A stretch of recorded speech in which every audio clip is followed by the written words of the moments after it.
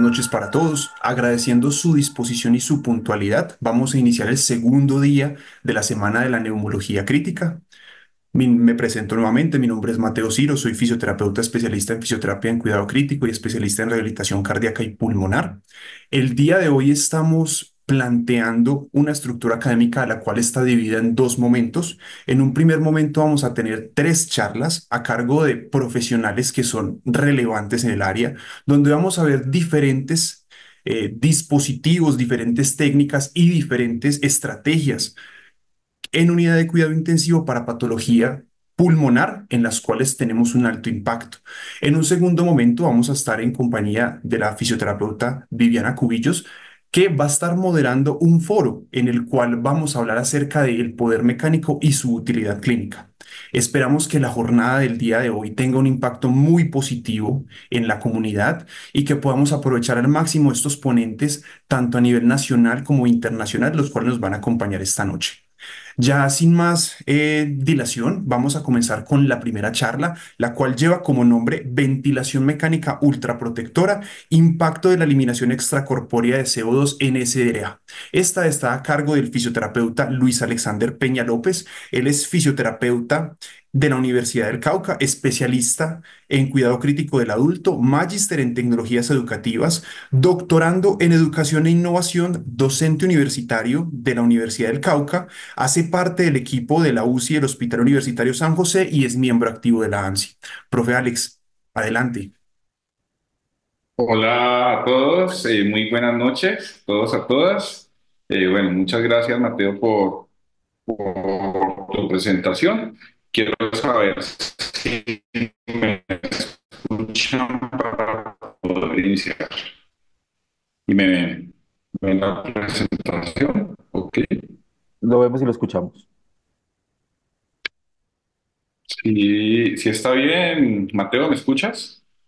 Como ya saben, un gusto poder compartir hoy con, con mis compañeros y mis amigos y con todos ustedes que en realidad estamos construyendo ANSI desde hace eh, un, un tiempo importante y hemos logrado unos muy bonitos resultados y bueno, eh, con todo el cariño espero compartirles nuestra eh, experiencia en eliminación extracorpórea de CO2. Sin más, les presento un poco la parte de arriba. eh, eh, mi Universidad del Cauca y la institución también para la cual trabajo abajo, el Hospital Universitario San José de la ciudad de Popayán. Voy a minimizar esto aquí para poder iniciar.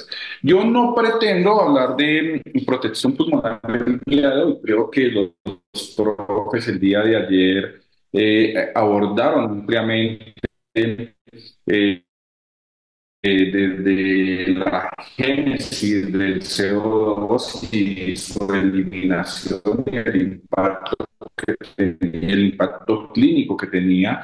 Yo pretendo hoy respiratorio y cuando nosotros aceptamos fracasado con las estrategias de ventilación mecánica. Lo que vemos aquí es un, eh, un, una imagen que en realidad siempre trato de, de, de presentarla porque es lo que en realidad en el tiempo se ha demostrado que hacemos que ha tenido una evidencia contundente y probablemente algunas estrategias o técnicas eh, que no han sido, no han tenido los resultados esperados y hay otras que están tal vez en un periodo de latencia. Como ustedes pueden ver aquí, antes de COVID-19 ni siquiera con, eh, consideraba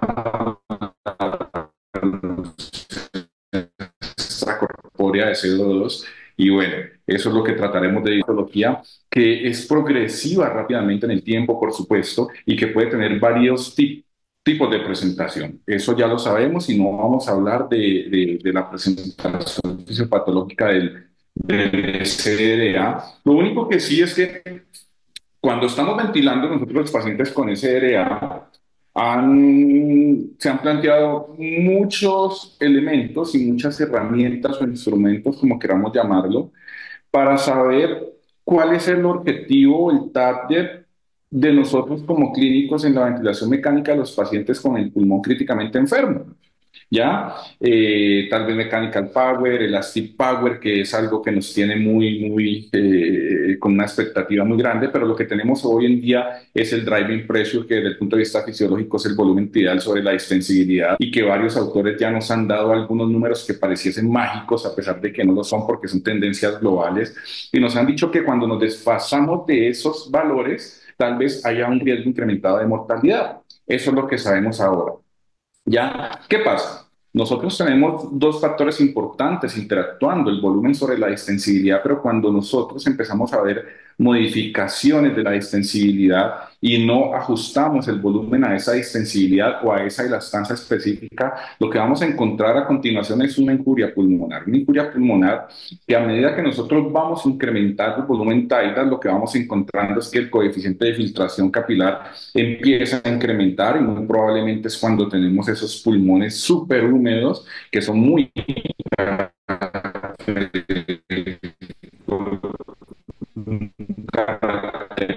con el respiratorio. De hecho, en algunos eh, algunas publicaciones ya muy, muy, muy eh, con mucho tiempo, nos dábamos cuenta que en algunos sujetos experimentales, en este caso eran raticas, cuando exponíamos a esos sujetos experimentales a volúmenes elevados, teníamos un pulmón macroscópicamente lesionado con un incremento de la tasa de filtración capilar que es totalmente evidente a nuestros ojos. Por supuesto, es el pulmón del lado derecho en relación a los otros pulmones que se trataban con volúmenes pequeños. Sin oír, lo que vamos a tener a continuación es una efervescencia, un, brote descontrolado de citoquinas inflamatorias, lo que en ventilación mecánica o en,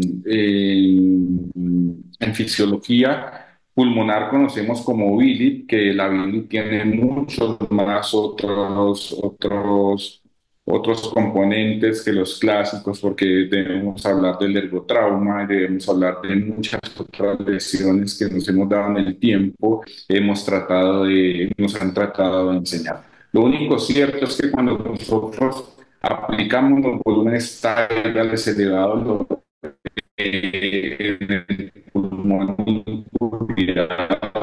vamos a tener como respuesta a un incremento, una efervescencia de las citoquinas inflamatorias y como consecuencia de ello, pues vamos a tener muy probablemente una migración de estas citoquinas por vía hematógena y eso es lo que conocimos nosotros como biotrauma y por ahí en adelante es el principal desencadenante de la falla orgánica múltiple. Acá un poco la, la de las citoquinas y bueno, entonces, ¿qué pasa? Ya sabemos que en el estudio Barman nos decía que va a que regular el volumen y por allá desde el, 90, desde el 89, 88, Luciano Gatinomi nos estaba explicando que en el pulmón injuriado o con distrés, la masa pulmonar viable para el intercambio gaseoso cada vez era más pequeño.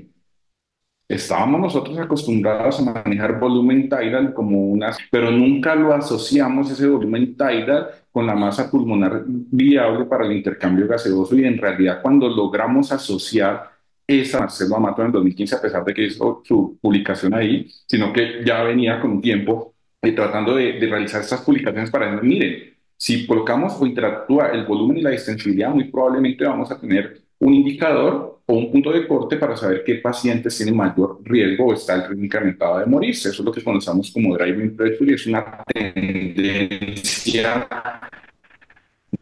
Alexander, Ale Alexander. Eh, global del pulmón y no es una tendencia regional, por eso. Ale Ale Alexander, discúlpame, discúlpame, te interrumpo, se te está escuchando muy Dime. mal. Creo que, te, creo que tienes Hola. un problema. Hola, creo que Hola, tienes un, problema, tienes un problema de conexión. O sea, te, te está escuchando muy entrecortado. Entonces, te agradezco revisar tu conexión. Si puedes cerrar. eh, Ya, voy a, voy a tratar de... Sí, porque te, se te está oyendo entrecortado y se te está, se está cortando mucho. Entonces, si puedes ubicarte mejor, si puedes cerrar aplicaciones para No mejorar la sé, red. tengo, tengo mucho, e- tengo eco en la, donde estoy. No sé si ahí ya abrí la puerta para que pueda mejorar la... Listo, perfecto. Si quieres, sigamos y te voy contando cualquier cosa. Muchas gracias. Sí, por favor, por favor. Entonces, eh, cuando nosotros encontramos esta medida desfasada en aquellos valores que ya veíamos anteriormente, ¿no? nos damos cuenta que el paciente de manera lineal incrementa el riesgo de mortalidad y eso es lo que queremos evitar a toda costa. ¿Ya? Por supuesto que nosotros ya desde el punto de vista fisiológico entendemos que es una interacción entre el volumen corriente y la extensibilidad y que muy probablemente haya que mejorar alguno de esos dos factores y lo más lógico sería disminuir el volumen corriente. por supuesto, cuando nosotros disminuimos ese volumen de eh, tidal ingresante al, al, al, sistema respiratorio, vamos a disminuir la ventilación minuto y sumado a todo este contexto eh, del paciente críticamente enfermo con un pulmón húmedo, con un incremento en el intersticio, con un incremento de las unidades de espacio muerto, con un incremento de las unidades de chumpo, vamos a tener una disminución severa del intercambio gaseoso. Y es ahí cuando debemos empezar a pensar en el fracaso ventilatorio y cuando debemos explicar unas, eh, aplicar una serie de índices como el índice de oxigenación que muy probablemente nos va a estar dando unos indicios de que estamos fracasando desde el punto de vista ventilatorio. Y ahí es donde decimos, bueno, se me desfasó el volumen, el, el driving pressure y yo qué voy a hacer, ¿ya? Eh, porque la oxigenación también está golpeada, o sea, o sacrifico el volumen corriente o subo el volumen corriente. El problema es que si lo subo, por supuesto, voy a subir el factor principal que me está generando la incuria pulmonar y no quisiese generar eso. Y entonces tenemos un riesgo grandísimo y es para donde vamos y hemos aplicado hace alrededor de tres años aquí en el Hospital Universitario San José y la eh, estrategia de remoción extracorpórea de CO2, que se trata, por supuesto, de disminuir el volumen corriente y recuerden que el CO2 depende o se barre en función del volumen minuto, y el volumen minuto es el producto de la frecuencia respiratoria por el volumen tidal. Si yo bajo uno de los dos componentes, por supuesto el CO2 va a dejar de eliminarse y se va a acumular. Y es lo que vemos aquí en cualquier tipo de estudios que hayan comparado volúmenes tidal elevados con volúmenes tidal bajos, encontramos que los que tienen un volumen tidal bajo, por supuesto que van a tener valores incrementados de CO2.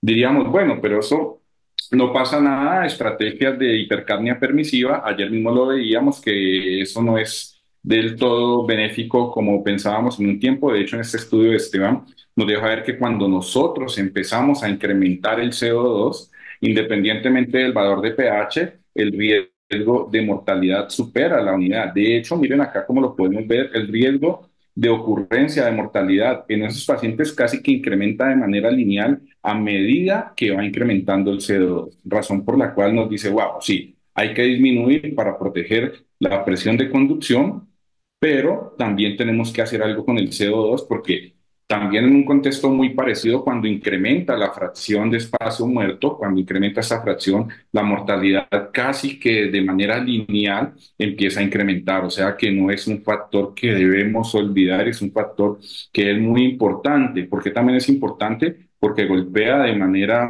aguda el ventrículo derecho, incrementa la poscarga ventricular y probablemente también es un fenómeno como lo vimos en COVID-19, que eh, incrementa el riesgo de mortalidad. También hay que tener en cuenta la injuria pulmonar, la injuria mmm, pulmonar autoinfringida, y principalmente, ¿por qué? Porque los fenómenos de acidosis respiratoria, nosotros desde la fisiología nos dicen, bueno, es que cuando tenemos acidosis, el centro respiratorio, independientemente que sea metabólica o que sea de origen respiratorio, incrementa su función y probablemente eso no sea del todo cierto o no sea eh, cierto en, en igual magnitud porque cuando vemos la respuesta a la acidosis respiratoria milivoltio nos damos cuenta que cuando tenemos, tenemos fenómenos de acidosis respiratorio, el potencial, el drive potencial o la señal eléctrica incrementa y muy probablemente estos pacientes de acidosis respiratoria tengan más riesgo de injuria que aquellos que están en acidosis metabólica. Por eso, eh, desde ya el 77, el grupo de Gatinoni había desde el punto de vista experimental canulado a unos eh, animalitos, en este caso eran unas cabritas, para ver cuál era la respuesta del centro respiratorio a la eliminación extracorpórea de CO2. Y lo que encontraron es que a medida que empezaron a barrer el CO2 de manera extracorpórea, lo que encontraron era una regulación de la respuesta del centro respiratorio. Entonces nos empezaba a dar unos indicios y eso ha sido un camino bastante largo. La remoción extracorpórea lleva alrededor de 30 a 35 años en la serie de estudios hasta que llega acá el estudio que nos tiene eh, tal vez que nos da un poco de alas para hacer lo que estamos haciendo hoy, el Supernova, un estudio prospectivo multicéntrico internacional en fase 2 que básicamente evalúa la viabilidad y seguridad. ¿Para qué? Para una vez nosotros bajamos el, el, volumen tidal, que la máquina extracorpórea sí pueda barrer el CO2. Y el objetivo de ella es que hagamos ventilación mecánica ultra protectora. Y no, por supuesto, los resultados hasta ahora eh, no son contundentes en relación a la mortalidad, pero vamos a discutir. ¿Ellos qué utilizan? El supernova, entonces identifica de manera precoz el fracaso respiratorio. Eh, inmediatamente se baja el paciente a 6 ml por kilogramo de peso predicho, se toma un control gasométrico Inmediatamente, casi que en, en, cuestión de minutos, ese paciente se baja de 6 ml a 5 ml por peso predicho, conjunto con el equipo renal. Acá en nuestra unidad lo hacemos con el equipo de nefrología, con el equipo renal.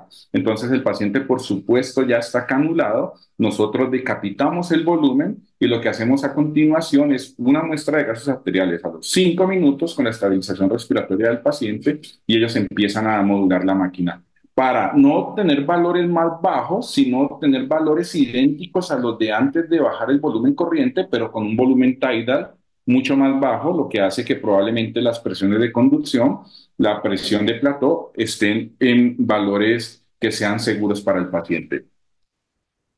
A las dos o cuatro horas volvemos a hacer lo mismo, pero pasamos de 5 ml a 4.5 ml por kilogramo de peso predicho y en un tiempo máximo de 8 horas ya debemos estar ventilando a 4 ml por kilogramo de peso y en cada uno de esos pasos, por supuesto, tomamos control gasométrico, evitamos, eh, informamos al equipo renal para que ellos hagan los ajustes de remoción extracorpórea de CO2 y permitirnos prácticamente dejar de injuriar o de estresar tanto a esos pulmones a la vez que el impacto ventilatorio sea mitigado por una estrategia de remoción extracorpórea de CO2.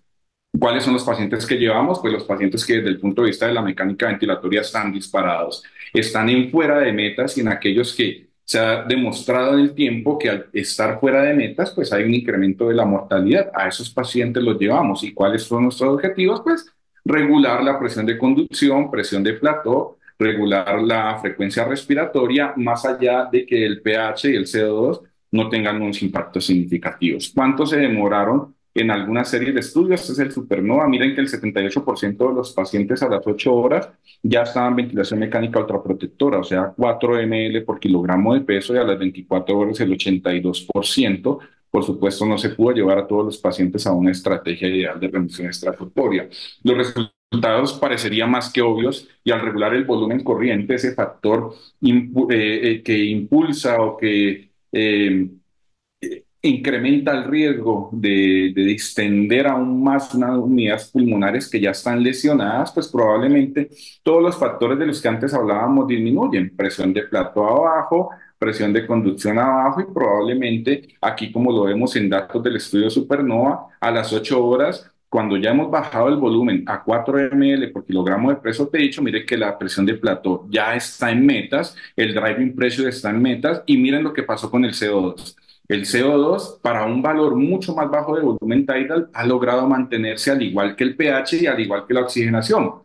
O sea que no esperemos milagros en el contexto del distrés respiratorio. Una cosa diferente es el paciente con enfermedad pulmonar obstructiva crónica exacerbada llevado a remoción, pero en el contexto del paciente con distrés no esperemos milagros en cuanto al pH, PC2 y PAFI, porque no vamos a encontrar unos cambios evidentes. Busquémoslo por el lado de la mecánica ventilatoria.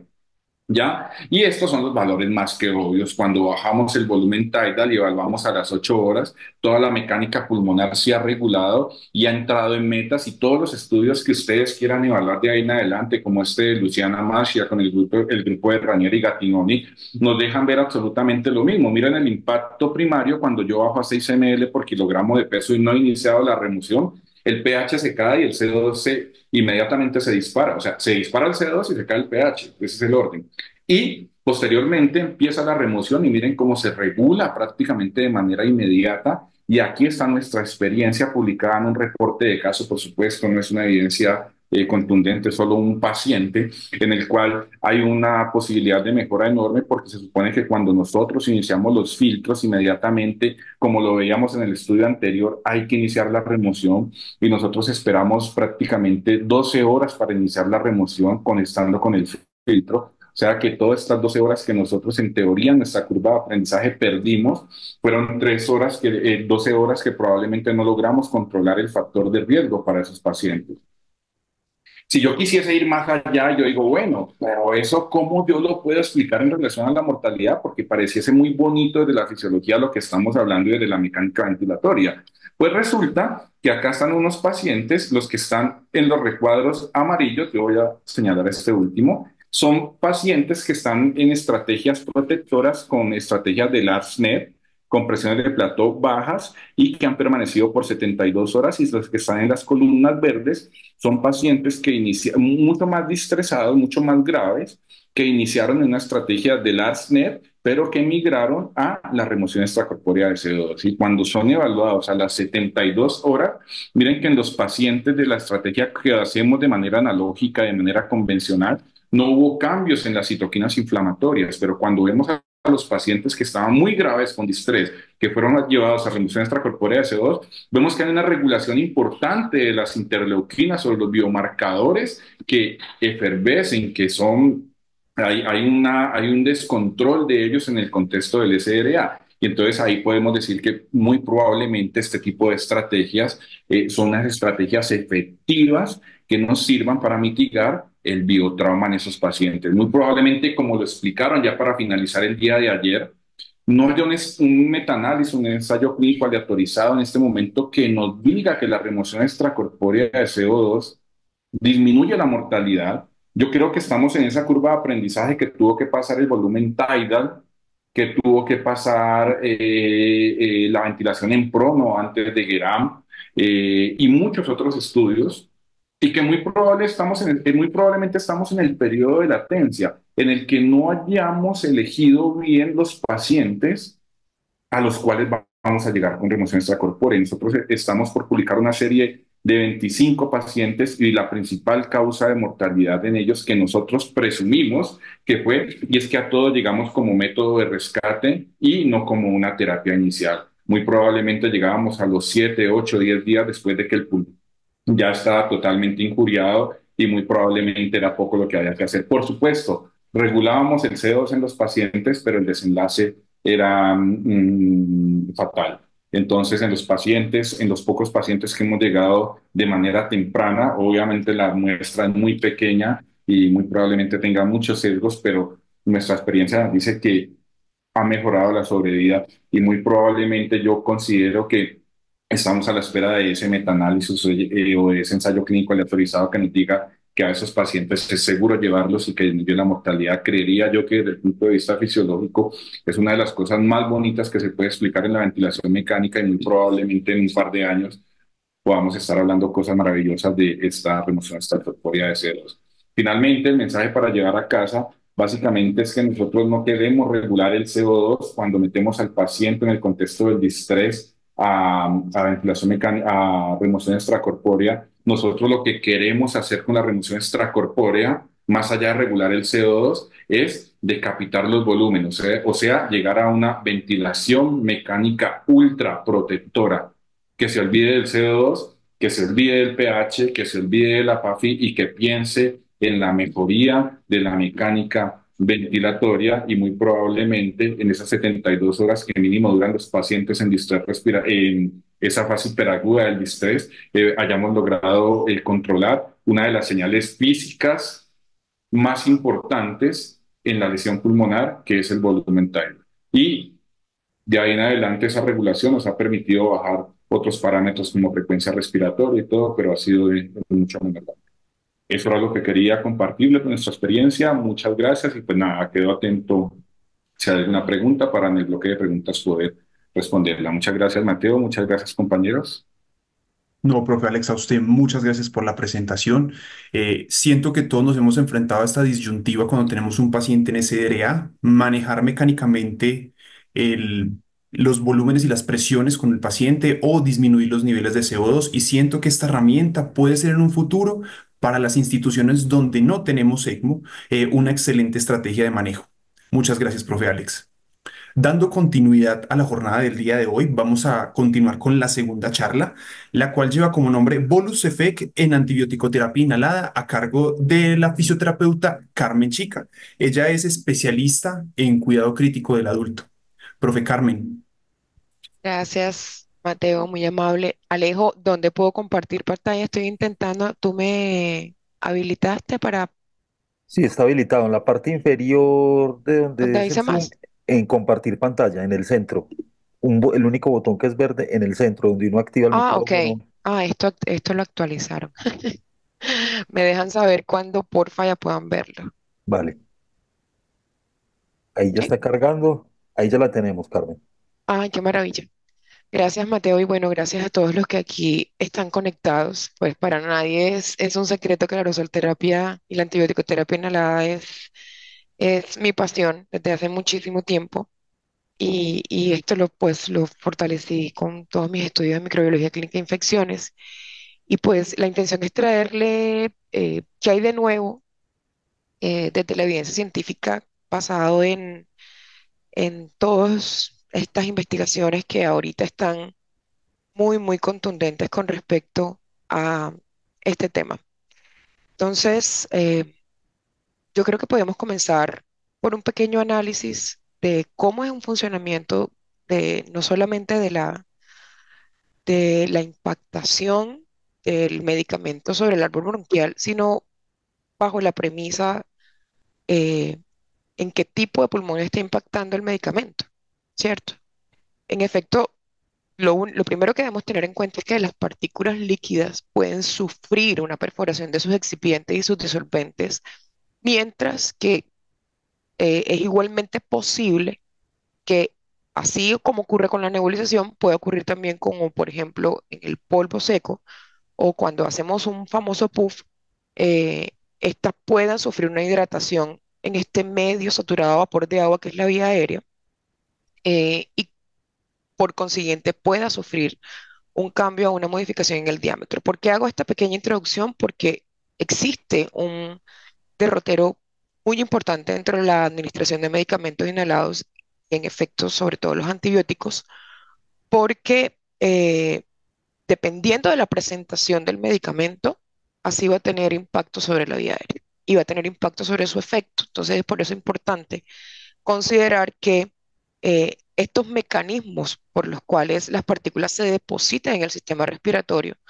eh, mientras más grandes sean, van a presentar un comportamiento inercial que va a causar su impacto eh, sobre vías respiratorias altas y mientras que ocurre todo lo contrario en cuando hablamos de partículas que definitivamente logran superar el tramo superior y llegan entonces a generar un depósito bronquial o podríamos decir hasta alveolar, que va mediado mucho por fuerzas electrostáticas eh, que pueden dar lugar a que la partícula se adhiera de una manera más feasible sobre em, las paredes de los bronquios, asociado mucho a la carga eléctrica celular que estamos eh, enfrentando en este momento. Y bueno, esto va muy, muy, muy ligado a bio- a biofísica de los gases y a, ingeniería de los materiales, porque en efecto, eh, puntualmente cuando el flujo aéreo se detiene, las partículas que no son ni grandes ni pequeñas, sino que están ahí en ese rango de medianas,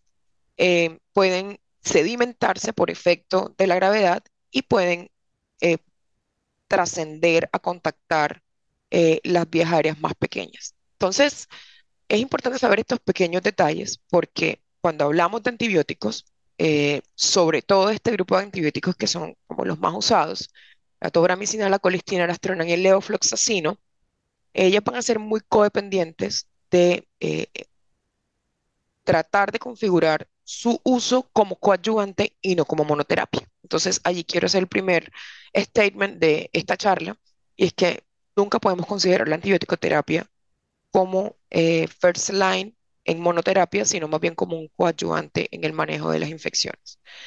¿Qué impacto tienen? Los tres más grandes, reducir el volumen y la purulencia del esputo, consecuentemente todo lo que viene asociado a microorganismos, eh, reducen el número y la gravedad de las agudizaciones, sobre todo en pacientes que tienen patologías obstructivas crónicas de sobreinfección. Y por otra parte, se enlentece la pérdida de función pulmonar, que, bueno, tiene un menor efecto secundario asociado a la vía endovenosa y por tal motivo se ha vuelto una vía de gran elección dentro del uso de eh, tratamiento coadyuvante. Entonces, ya entrando muy en foco con lo que ocurre con el bolus effect, eh, el último paper eh, o el más reciente eh, que va asociado preciso a esta descripción. Em, ocurrió el primero, el primero ocurrió en el 2020 con el estudio INAIL, que es uno de los estudios más grandes que se han hecho de aerosolterapia inhalada asociada a antibióticos. Esto fue un ensayo, un ensayo perdón, fase 3, particularmente eh, patrocinado por la industria, por Bayer. Y aquí lo que se hizo fue que en pacientes gravemente enfermos con neumonía causada por bacterias gram negativas no fermentadoras, em, pues quisieron medir qué tanto efecto tenían los antibióticos frente al, no solamente al seteo del ventilador, sino también al uso del dispositivo de la dosificación y a la tiempo dependencia del fármaco. Em, el estudio INEL fue un estudio muy grande, un estudio muy diciente, tuvo muchísimos errores metodológicos, como por ejemplo que la amicacina en aerosol como terapia eh, complementaria asociada a antibióticos intravenosos eh, fue superior a la que los antibióticos intravenosos, o sea, a la cohorte que utilizó solo antibióticos intravenosos. Y probablemente en el estudio INEL, eh, el diseño como tal y la dosis de la micacina y la técnica de nebulización probablemente fueron uno de los causantes por los cuales el resultado no fue el esperado. Pero aparte de eso, lo realmente sorprendente es que si lo vemos de esta manera, las especificidades de la administración de los fármacos en aerosol, según el órgano que se esté utilizando en este caso, estaríamos hablando del pulmón. Em, si hablamos de un grupo de medicamentos, que es el que más usamos rutinariamente, que son los esteroides y los mucolíticos, más los broncodilatadores, pues para el árbol bronquial y por el medicamento esto es muy fácil de que penetren al órgano diana, en este caso pulmón y sobre todo sobre tráquea y bronquios de gran tamaño. Y eh, el reto real es que cuando las turbulencias inspiratorias comienzan a promover el depósito traqueobronquial y la eficacia terapéutica del mismo, eh, se comienzan a volver entonces eh, el problema, porque entonces mm, el seteo del ventilador comienza entonces a cumplir no solamente la función principal para que la dosis dependencia o la tiempo dependencia del fármaco surta efecto, sino también eh, el mismo drive respiratorio del paciente asociado al tipo de asincronías o a la gran cantidad de asincronías que pueda presentar este paciente. Y es por eso que entonces en la administración de aerosoles de, tipo antibiótico sobre el parénquima pulmonar se vuelve difícil, sobre todo porque los pulmones que están infectados, y lo podemos ver, por ejemplo, en, en, color, acá en la imagen en color, en color marrón claro, están lejos del tubo endotraqueal y las partículas en, en aerosol tienden a moverse a través de esta red compleja de bronquios de diámetro pequeño que están parcialmente obstruidos con tapones de moco purulento y entonces la cantidad de antibiótico administrado en las áreas neumónicas va a lograr ser muy crítica y eh, en efecto la actividad bactericida puede ponerse en duda. O no en duda, sino que puede disminuir, digámoslo, utilicemos este término. Entonces, tomando y retomando este análisis sobre la turbulencia del flujo inspiratorio, en efecto es esta turbulencia la que va a promover la impactación traqueobronquial y va entonces a disminuir la administración aerosol en áreas infectadas. Y esto puede limitar el uso eh, de estos medicamentos porque muchas veces no hace efecto y es precisamente porque no tienen en cuenta este, tipo de variantes. Entonces, eh, lo que podemos hacer aquí como primera herramienta es utilizar un flujo expiratorio con inspiratorio constante, tiempo inspiratorio prolongado y evitar cualquier tipo de descoordinación o asincronías con el ventilador. Son como los predictores más grandes que eh, dentro de todo lo que pudo como oportunidad de mejora generar el estudio más todo lo que se ha investigado acerca de antibióticos inhalados, es como las tres premisas importantes del qué hacer y qué no hacer, y qué no hacer en administración de antibióticos inhalados. Entonces, eh, por un lado tenemos el tipo de dispositivo, y por otro lado, las consideraciones iniciales de pronto de, tener en cuenta el nebulizador siempre debe ser colocado en la rama inspiratoria del circuito, entre 10 a 15, 10 a 15 centímetros de la pieza en Y y en forma paralela a la rama inspiratoria, evitar acuevamientos y todos estos cuidados que definitivamente van a ser muy codependientes para que eh, eh, el efecto terapéutico pues, pueda ser el esperado. Entonces, ah, además de esto, siempre hemos tenido mm, muy en cuenta que dentro de las condiciones del paciente hay que también tener eh, muy, muy en claro de que debe estar sincrónico, sin tos, sin broncoespasmo, por eso es que eh, para poder generar efecto bolo con el uso de antibióticos, el paciente siempre tiene que ser, estar previamente broncodilatado y en efecto, eh, los antibióticos pueden tener este efecto secundario sobre el árbol bronquial, por eso es que previamente broncodilatar y hacer cuidado respiratorio, higiene bronquial previo al, uso del antibiótico, eh, porque las secreciones dificultan la impactación sobre el árbol bronquial. Sabemos que el 100% no va a ser removido con esta higiene bronquial, pero la mayor cantidad posible puede ser muy benéfico. Em, y no debe tenerse parámetros que afecten el flujo de gas, como por ejemplo la presión positiva inspiratoria intrínseca, o sea, la PIP intrínseca que pueda tener el paciente en ese momento. Eh, por lo que siempre es bueno tener como estas consideraciones dentro del seteo del respirador, ya he mencionado algunas, em, y como parte importante en el aspecto de la droga nebulizada, pues eh, ojo con los filtros. Y siempre doy esta, este preámbulo cuando voy a hablar de, de efecto bolo en el antibiótico, y es porque ya entrando así muy rápido en materia, hay que considerar que hay antibióticos que son considerados de alta solubilidad y hay consideraciones que tienen baja permeabilidad eh, o son de difusión a nivel pulmonar muy baja. Entonces, en la medida en que tengamos estas consideraciones frente al tipo de antibiótico, nosotros podemos eh, poder tomar, por decirlo así, más en claro eh, la asociación entre el tipo de antibiótico y la dosis, el tiempo de administración y el dispositivo que se va a utilizar.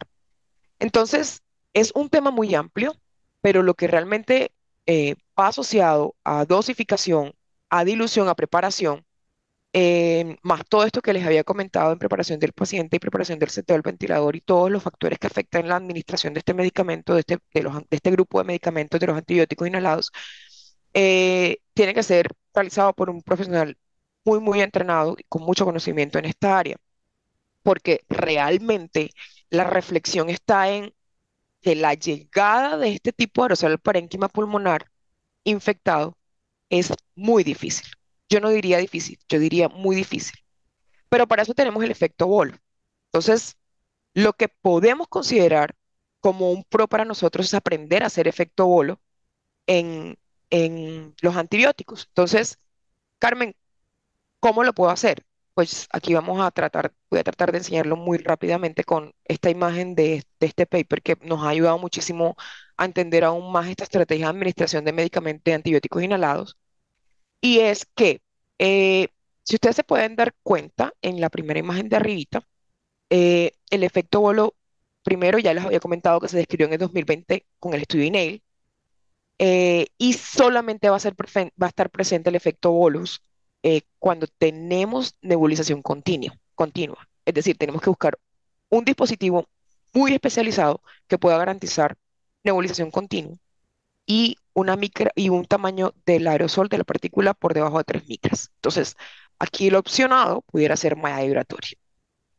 Em, entonces, cuando hablamos de efecto bolus, estamos hablando de la acumulación de partículas aerosolizadas en el tubo inspiratorio que durante la expiración va a ser impulsada hacia el sistema respiratorio durante la siguiente inspiración. Yo sé que este juego de palabras es un poquito complejo, pero es lo que realmente nos va a ayudar a comprender a que en la medida en que aumenta el efecto bolo, vamos a, maximizar la administración del antibiótico. Entonces, para esto, la sugerencia técnica de esta, de de valga la redundancia, esta técnica para optimizar la, administración de antibióticos es colocar el nebulizador en lo posible malla vibratoria 15 centímetros antes de la pieza eh, en Y y poder entonces asociar esto con un desperdicio expiratorio de bolo significativo. ¿Cómo así, Carmen? Es decir, en la medida en que más lejitos esté el nebulizador de malla vibratoria del paciente o antes del, humidificador, pues vamos a generar mayor efecto bolo y lo que va a ocurrir es que eh, una vez el, el, ventilador haga el impulso inspiratorio y venga el siguiente ciclo, todo ese medicamento que quedó continuamente nebulizado en el asa inspiratoria, justo en el momento de la expiración, cuando sale todo este volumen de aire por la expiración, se va acumulando medicamento en el asa inspiratoria y en la siguiente inspiración es jalado hacia el pulmón. Entonces, es, es muy, muy interesante. Es algo que, sobre lo que se siguen trabajando eh, investigaciones. La nebulización, mientras sea activada por la respiración, y es algo que debemos tener en cuenta, va a eliminar el efecto holo. Entonces, es por eso que el tiempo de nebulización es una función del tiempo inspiratorio sobre el tiempo total del ciclo respiratorio y este análisis tenemos que hacerlo sobre todo porque eh, para lograr efecto bolus es, es, que hay que considerar que aquí la variable independiente de la frecuencia respiratoria es el tiempo de la nebulización. Y entonces aquí entraríamos a hacer cálculos para poder asociar esta variable a la tiempo dependencia del fármaco. Y en comparación con un nebulizador de malla que no está sincronizado con el ciclo respiratorio del paciente, lo que vamos a entender es que se va a prolongar el tiempo de la nebulización para lograr alcanzar la misma dosis.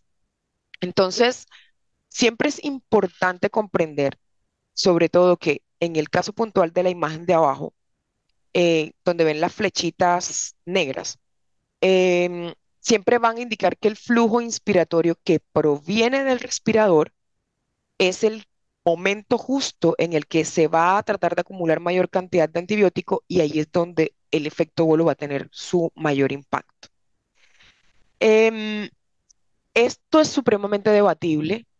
Mm, es una técnica que está siendo muy, pero muy respaldada ahora mismo en Europa y Estados Unidos pues todos los grandes eh, referentes, incluyendo a James Fink, a Arsi, a Arsuari, que la tuvimos hace unos meses acá con nosotros en AMSI, y a McGolin, que es uno de los que más ha escrito de malla vibratoria, nos han puesto a hacer la reflexión clínica, científica y práctica de que definitivamente la mayoría de las neumonías, sea ventilación mecánica, se desarrollan después de la colonización bronquial por microaspiración continua del contenido orofaringio o gástrico que está contaminado alrededor del manguito traqueal y que definitivamente la nebulización del antibiótico va a interferir en ese, en ese microbioma bacteriano traqueobronquial y que definitivamente va a influir en el riesgo de la resistencia a los antibióticos y a las posibles recaídas que estos pacientes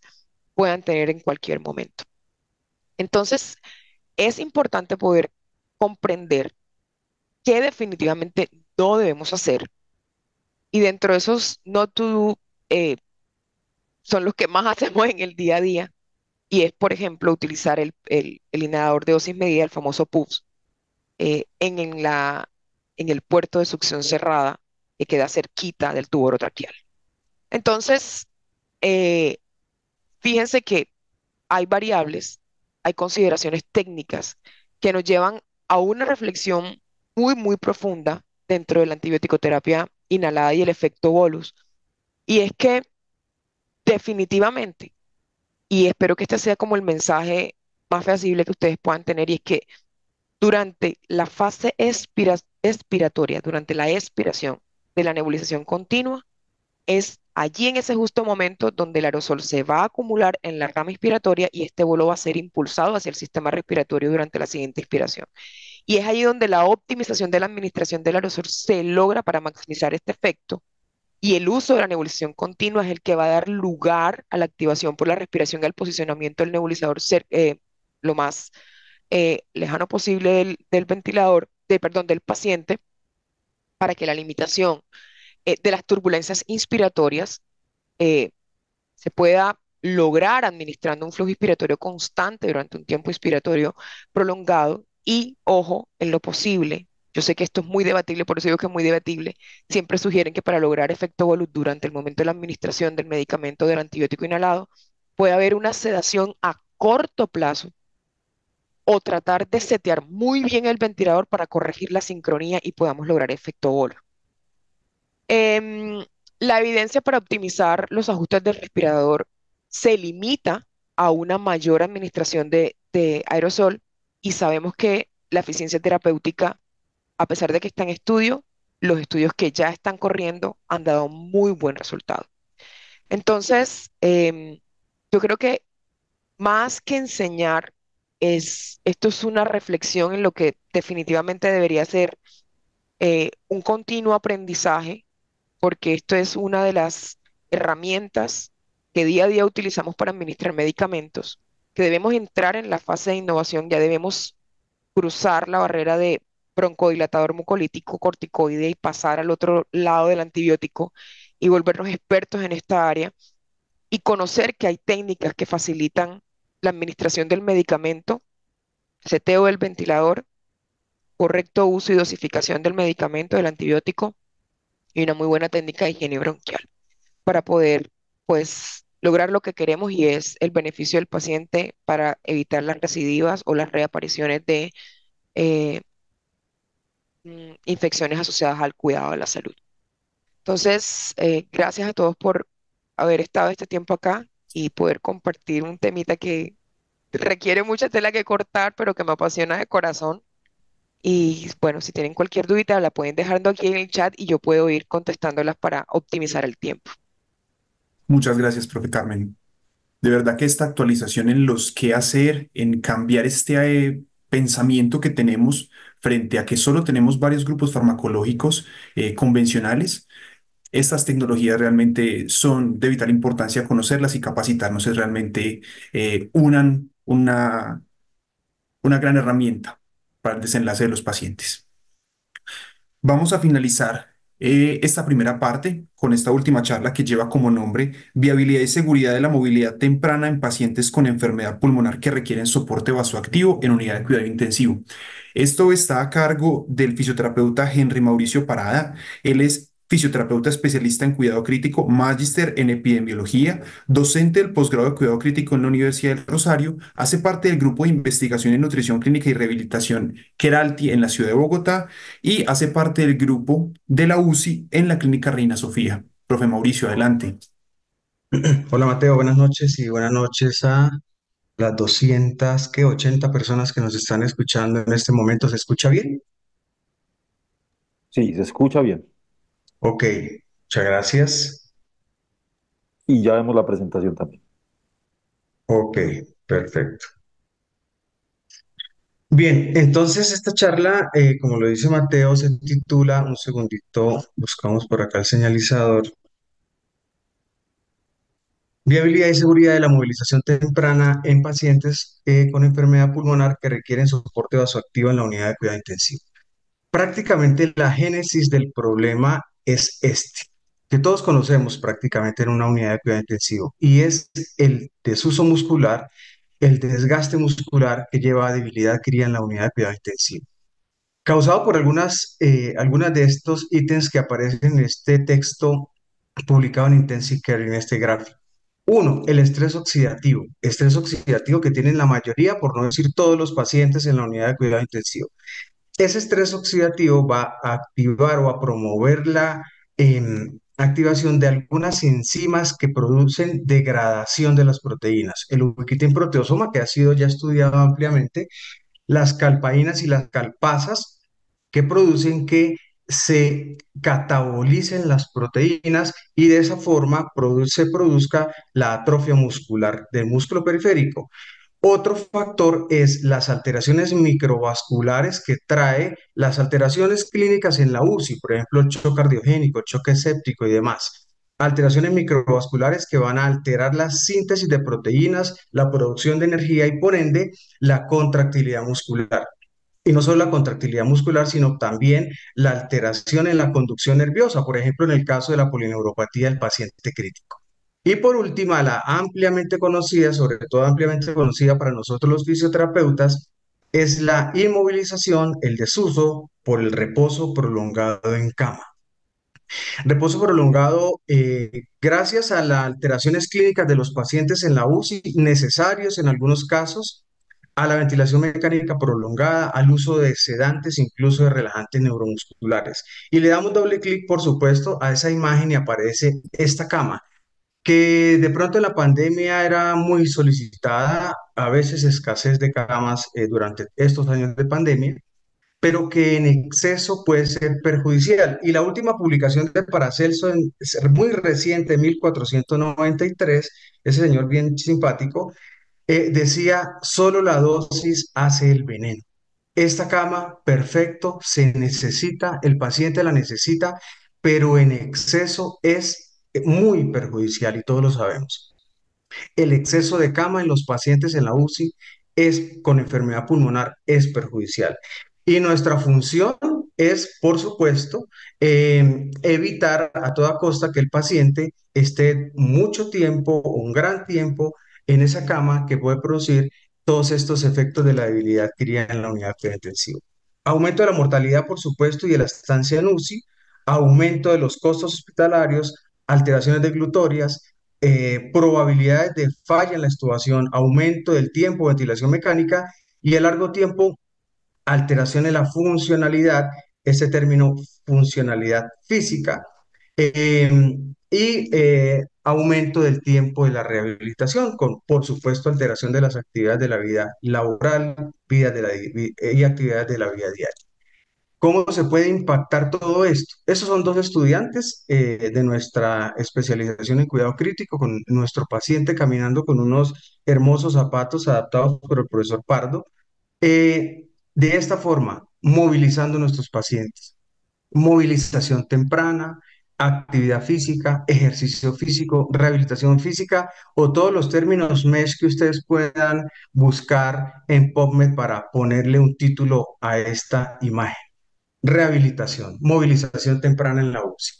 Pero bueno, en el 2022, este es el estudio TIM donde eh, evidenció que la movilización activa puede asociarse a mayor probabilidad de eventos de seguridad, así le llamamos, o eventos adversos. Casi 2.5 veces los pacientes que se movilizaron activamente en este ensayo clínico aleatorizado. En ese momento preocupaba y seguía preocupando.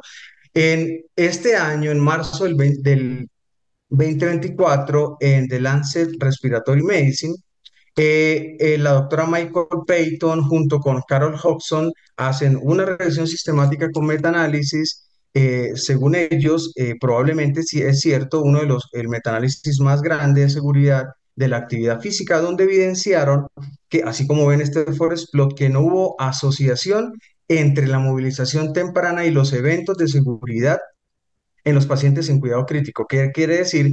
Que la movilización temprana para este gran metaanálisis no aumentaba el riesgo de eventos de seguridad en nuestros pacientes. Vamos bien, ¿qué quiere decir? Bueno, muy bien, podemos, eh, seguimos movilizando a los pacientes de forma viable y de forma segura. Pero, oh, aparece esto. Y es lo que pasa en las unidades de cuidado intensivo. Esta es una de nuestros pacientes que están en, este momento acá en nuestra UCI. Esta primera bomba es de noradrenalina 0,7, la segunda bomba es de 4 unidades de vasopresina. Para no contar con el resto, esta última es azul de metileno. Bueno, esta es eh, una imagen bastante severa. Quitemos el azul de metileno, quitemos la vasopresina y dejemos solo noradrenalina para este caso. Eh, yo siempre que eh, necesito transmitir una imagen que debemos recordar, creo que hasta el día previo a la muerte como fisioterapeutas cardiopulmonares, pongo a la persistencia de la memoria, este cuadro muy famoso de Salvador Dalí. Y eh, porque creo yo que debe persistir en nuestra memoria este artículo de eh, Boyd y colaboradores, donde eh, nos muestran la dosificación de la noradrenalina, que es el soporte vasopresor más frecuente en nuestras unidades de cuidado intensivo. ¿Cuándo es una dosis baja para este artículo de Boyd y colaboradores menor a 0,05? ¿Cuándo es moderada de 0,05 a 0,2? Y cuándo es una dosis alta mayor a 0,2? ¿Qué quiere decir? Para la realización de nuestra actividad física siempre debemos considerar que con estas diferentes dosis podría o no existir eventos de seguridad. O con estas dosis podemos o no que la rehabilitación física o la movilización temprana sea viable en la unidad de cuidado intensivo. Muy bien, y de aquí en adelante, la, toda la evidencia que les voy a mostrar La mayoría de los estudios son basados en la clasificación de la dosificación de Boyd y colaboradores. Entonces, ya habíamos hablado del estudio TEAMS, el ensayo clínico aleatorizado, donde se asociaba con eventos de seguridad, y posteriormente los dos últimos, el estudio de eh, Peyton y colaboradores, donde ellos evidenciaron que no había ninguna asociación de la actividad física con eventos de seguridad o eventos adversos. Pero esos estudios son para todos los pacientes. Tenían soporte vasoactivo, no tenían soporte vasoactivo, estaban intubados, no estaban intubados, etc. Los estudios que voy a mostrar a continuación son realizados en pacientes exclusivamente con soporte vasoactivo, ya sea noradrenalina, dobutamina, vasopresina, milrinone, etc. Y empezamos con Larisa Borges, brasilera, donde evidencia que los pacientes, fíjense la viabilidad de la intervención. De los 150 pacientes que se movilizaron, 132, que quiere decir el 88% de los pacientes tenían noradrenalina y no hubo eventos de seguridad importantes asociados a la movilización temprana. Continuamos con eh, Gemina Voigt, donde eh, este realizan este estudio observacional prospectivo eh, de viabilidad y seguridad de los pacientes que reciben soporte vasoactiva, eh, vasoactivo en posoperatorio de cirugía cardiovascular. Y hay algo muy interesante en este estudio. Fíjense que solo fueron 20 pacientes, claro, hay una limitación importante, pero fíjense que un paciente tenía dos unidades de vasopresina, dos pacientes tenían adrenalina, sin embargo le hicieron actividad física y la mayoría de los pacientes, por no decir todos, no, de hecho son todos, tenían dopamina a dosis sinotrópica, a dosis vasopresora. Para Gemina, Void, eh, la, eh, movilización temprana a baja dosis no se, en pacientes con posoperatorio de cirugía cardiovascular no se asoció con mayores eventos de seguridad. La corte es pequeña, pero bueno, es un estudio prospectivo. Luego, Cheryl Hickman evidencia en su cohorte de pacientes que de los 139 pacientes movilizados, el 34% tenían drogas vasoactivas y se movilizaron sin ningún problema. Y adicional, de, los, eh, de estos pacientes movilizados, de los 69 que adicionalmente tenían drogas vasoactivas, estaban intubados. ¿Qué quiere decir? Que la intubación traqueal tampoco era una limitación para hacer la movilización temprana en la UCI.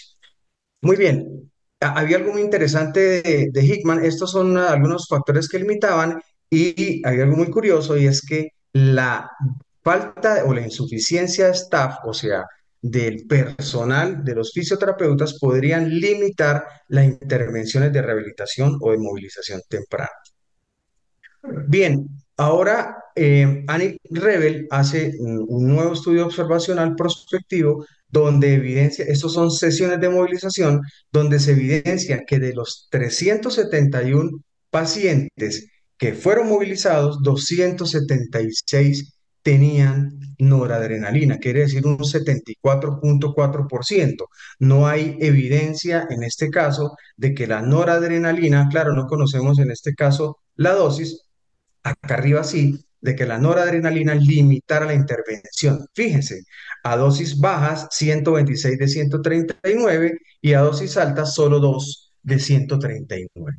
Los eventos de seguridad solo fueron 15 en esta cohorte que representaba simplemente el 7.8% del total de los pacientes que se movilizaron. Y mire este dato tan importante. Los eventos de seguridad en los pacientes con soporte vasoactivo. Solo fueron dos que correspondían a dos de en toda la cohorte, o sea, dos de 15 pacientes. Y este otro dato importantísimo, porque ustedes todos sabemos que en algunos otros, en otros países, en parte de la movilización temprana lo realizan también el personal de enfermería y evidenciaron que la intervención fisioterapéutica aumentaba las probabilidades de eh, aumentar la funcionalidad gracias a que las intervenciones podrían eh, cuantificarse con un IMS, o sea, un, eh, un Mobility Scale de 6 a 10, que quiere decir que probablemente estos fisioterapeutas incluso caminaban a los pacientes por el pasillo de la unidad de cuidado intensivo. Luego aparece este monstruo, y digo este monstruo porque es un estudio gigantesco del doctor Maximilian Lindors, donde eh, estudia la movilización en pacientes críticamente enfermos que reciben soporte vasopresor con noradrenalina. Pese que es un estudio retrospectivo, son más de 8.245 más 4.217, tal vez más de 12.000 pacientes, dentro de los cuales 4.217 tenían noradrenalina y 1.645 que correspondían al 39%. Eh, em, m- perdón, 1645, esta es la desviación estándar, 1645 se le realizó eh, a movilización temprana pese a que tiene, tenían soporte vasopresor con noradrenalina. Mire este dato tan interesante.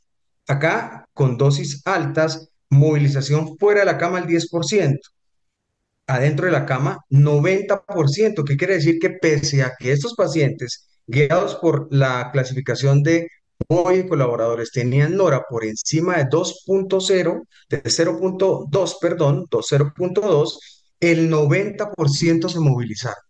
O sea, para eh, Lindos, en el estudio retrospectivo de Lindos, incluso las altas dosis no fue una limitación eh, para la movilización temprana. Y si miramos este gráfico, fíjense que con 0.25 todavía por acá hay unos azulitos de movilización fuera de acá.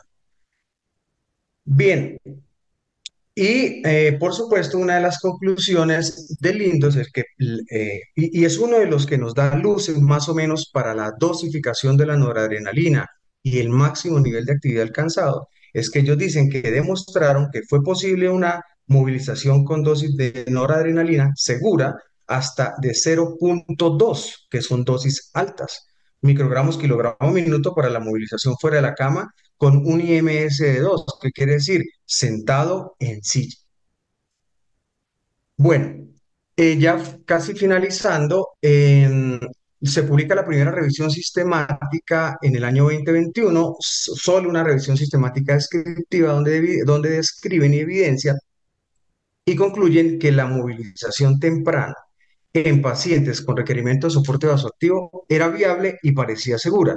Sin embargo, bueno, es una revisión sistemática, descriptiva, que tiene muchas limitaciones. Nuestro grupo de investigación, integrado por el profesor Pardo, fisioterapeuta de Medri, y la profesora Yana Bendaño, el doctor Daniel Molano, intensivista de Cobos, con el doctor Jean Ramón Mansclans, eh, intensivista del Hospital de Mar en Barcelona, pensamos, eh, bueno, y si actualizamos esta revisión sistemática, porque apareció el estudio de Lindols y ha aparecido otros estudios donde incluyeron pacientes con el soporte vasoactivo a los que se les realizó eh, actividad física, eh, listo, hicimos una revisión sistemática, la hemos estado sometiendo y muchos de los revisores nos orientaron, y por eso aparece el bombillito, en por qué no realizar un metaanálisis que describa la proporción de pacientes que sufrieron eventos adversos en esa cohorte de pacientes. Entonces, replanteamos la revisión sistemática, hicimos ahora una revisión sistemática con metaanálisis de estudios observacionales y evidenciamos lo siguiente, que en el estudio de Hickman, Kappel, Rebel, Borges y Lindols, la proporción de pacientes que eh, sufrieron eventos de seguridad en su cohorte era solo del 2% es una proporción baja solo de pacientes con soporte vasoactivo a los que se les realizó movilización temprana. Acuérdense que los metaanálisis previos eran pacientes a los que se realizó movilización temprana, que tenían o no soporte vasoactivo, que estaban o no intubados. Estos solo, eh, la, esta cohorte solo de pacientes con soporte vasoactivo y solo el 2% de ellos eh, aumentaron las, tenían o, por lo menos reportaron eventos de seguridad. Fíjese, Lindor, solo 47 de 3.306. Aunque la heterogeneidad es significativa, pues bueno, eh, este estudio es uno de los primeros en evidenciar ese, esa proporción de pacientes con eventos de seguridad tan bajos. Luego hicimos otra cosa adicional. Pensemos, eh, miremos con cada una de las dosis según Boy y colaboradores. Entonces, con dosis bajas, ¿qué probabilidad de movilizarse hay? Solo Nivera, Ribble y Lindols tenían datos y evidenciamos que el 64% de esos pacientes se movilizaron. Es un muy buen dato, es una muy buena proporción de pacientes movilizados, pese a que la heterogeneidad es alta. Eso sí es una limitación importante. Con dosis moderadas, bajó del 66% al 30%, pero se pueden movilizar. Dosis moderadas por encima de 0.05 hasta menor a 0.2. Y con dosis altas en estos pacientes, la probabilidad descendió considerablemente al 7%. Es cierto, pero ese 7% nos dicen se puede movilizar. ¿Qué tan seguro es? Eh, no lo sabemos porque no se pudo metanalizar con esa dosis cuántos eventos de seguridad existían, pero lo que sí se pudo metanalizar es que el 7% de esos pacientes se pudieron movilizar en esa corte de pacientes. Y ya para finalizar, eh, estos mensajes clave no solo son de nuestro artículo, que lo pueden revisar, está hasta ahora sometido, entonces probablemente no lo van a encontrar, pero acá está el registro próspero para los que lo quieran consultar el protocolo de nuestra revisión sistemática y metaanálisis, evidenciamos que el uso de fármacos vasoactivos en estos pacientes no es una contraindicación para la movilización temprana o, o adicionémosle, no es una contraindicación absoluta. ¿Aumentar la dosis de fármacos vasoactivos disminuye la probabilidad de movilización en UCI? Sí, 66, 37%. ¿Es una contraindicación absoluta? No. No hay consenso sobre la dosis segura de fármacos vasoactivos durante la movilización temprana. Eso es cierto. Yo no les puedo decir por debajo de 0.2 se puede levantar de la cama o por debajo de 0.05 puede caminar por el pasillo. Todavía no hay un consenso sobre la dosis segura. La falta de datos limita una recomendación definitiva. Definitivamente se debe realizar una evaluación previa a la condición hemodinámica del paciente antes de iniciar la movilización temprana con o sin soporte vasoactivo, eso es claro, y la movilización temprana debe personalizarse según el estado funcional y hemodinámico del paciente que recibe fármacos vasoactivos. Muchísimas gracias. No, pues Mauricio, usted muchísimas gracias por esta conferencia. Es importante reconocer que esta contraindicación clásica que teníamos por parte de fisioterapia de que el paciente inestable hemodinámicamente no se le puede hacer intervención ya es una contraindicación relativa Aún lastimosamente nos falta estudios para identificar cuál es la dosis en la cual lo podemos hacer de manera segura, pero por lo menos estudios como los suyos, profe, ya nos permiten dar luces para poder hacerlo de manera segura. De verdad, muchas gracias, profe. Dando continuidad a esta segunda parte de esta jornada académica, vamos a continuar con el foro, el cual lleva como nombre Transferencia de Energía aplicada a la fisiopatología ventilatoria. Esta va a estar a cargo y de la moderación por parte de la fisioterapeuta Viviana Cubillos. Eh, los ponentes que vamos a tener para este foro van a ser principalmente tres. Vamos a tener dos ponentes a nivel nacional y uno internacional que me gustaría presentarlos. Vamos a comenzar con el profe Wilson Mauricio Lozano, él es fisioterapeuta, especialista en cuidado crítico, magíster en ciencias básicas biomédicas, doctor en fisiología y es profesor asociado a la Escuela de Fisioterapia en la Universidad Industrial de Santander. Vamos a estar acompañados de la profe Viviana Cubillos, ella es fisioterapeuta, especialista en cuidado crítico y muy especial, vamos a estar acompañados del doctor Aureo Fajardo, él es especialista en medicina interna, especialista en medicina crítica, máster en ventilación mecánica y apoyo respiratorio, máster en ciencias de la educación médica, docente de la Universidad de la Frontera, hace parte del grupo WIVENT, es coordinador en, unidad de paciente crítico del Hospital Biprovincial Quillota Petorca en Chile y es referente técnico en el Departamento de Investigación. Profe Vivi, está a cargo. Ay, Vivi, estás muteada, creo yo. Óyeme, qué chévere poder tenerlos a todos acá conectados y, poder compartir este tema que es súper apasionante, súper nuevo, súper maravilloso. Eh, si bien es cierto, tener a Wilson, a Viviana y a Aureo acá es más que un honor. Yo, eh, Vivi me va a apoyar poquito hoy con, con la moderación, pero antes de que me apoye, porque me tengo que ir, A mí me gustaría dejar siempre en la mesa, eh, pues, algunas, algunas, algunos cuestionamientos, ¿verdad? Que de, pronto la evidencia, la práctica clínica, la experiencia, em, tengamos en, en la mira para poder tomar decisiones clínicas muy centradas en, en la ciencia. Em, yo, yo antes de hacerle esta pregunta Vivi, yo quiero abrir un momentico, preguntar, Aureo, bienvenido, qué pena no te, no te daba el espacio para que, para que nos saludes desde Chile, veo que hace como que mucho frío por allá. Y, y, mm, yo quiero abrir, yo quiero abrir la conversación antes de que, de que Vivi me retome porque ya el nixtagmus me tiene súper mareada. Eh, Aureo, antes de pasar con Vivi, ¿es real o no es real esto de transferencia de energía y mecánica? Eh, no, pero no te rías y qué mal.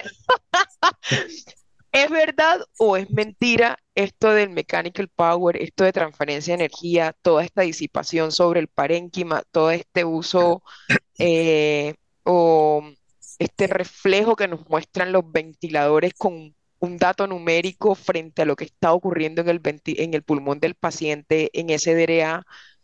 Eh, cuéntame, o sea, de verdad, porque es que, en serio, eh, nos pone a veces en duda lo que, lo que leemos, lo que vemos, cuando, cómo se comporta el paciente, pero ¿es real o no es real? Mechanical power, ¿es real o no es real? Elastic power, ¿es real o no es real? Transferencia de energía. Hola, buenas noches a todos. Gra- eh, muchas gracias, Carmen, eh, por la presentación. Qué gusto volver a saludarte, Wilson, amigo mío. Un abrazo a la distancia. Y, por supuesto, la invitación. Agradecido, como siempre, a toda la gente de AMSI.